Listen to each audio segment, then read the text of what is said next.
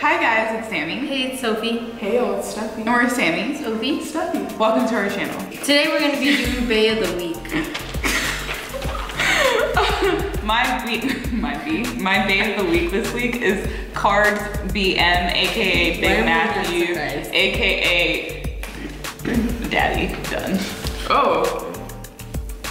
How are y'all gonna judge me?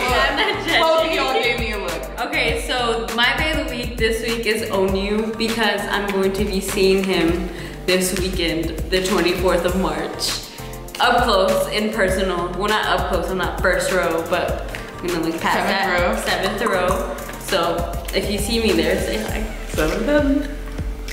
Um, even though we're sister wives, I'm not gonna like steal her shine. So my day of the week this week is Eric Nam because I'm still listening to Cave Me In. Just like listen to Cave Me In, and when he comes in, all smooth, all R&B, like do that for the rest of your life, please and thank you. But let us know what your Bae of the Week this week is. And don't forget to like and subscribe to our channel. Thanks for watching. Bye guys.